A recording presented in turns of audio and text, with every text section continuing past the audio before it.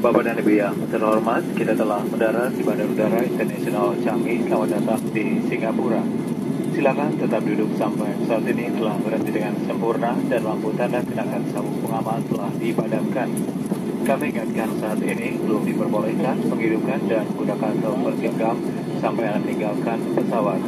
Bapak dan Ibu lanjutan penerbangan dimohon menghubungi petugas darat kami di bagian pindah pesawat. Sebelum meninggalkan pesawat, pastikan tidak ada barang-barang bawaan Anda yang tertinggal di sekitar kursi, kantong kursi, dan di kompartemen di atas. Mohon berhati-hati apabila akan membuka kompartemen di atas agar tidak ada barang yang terjatuh. Bagi Bapak dan Ibu yang duduk di business class, dipersilakan untuk turun terlebih dahulu. Kami ucapkan selamat berpisah dan terima kasih atas penerbangan Anda bersama Garuda Indonesia, anggota dari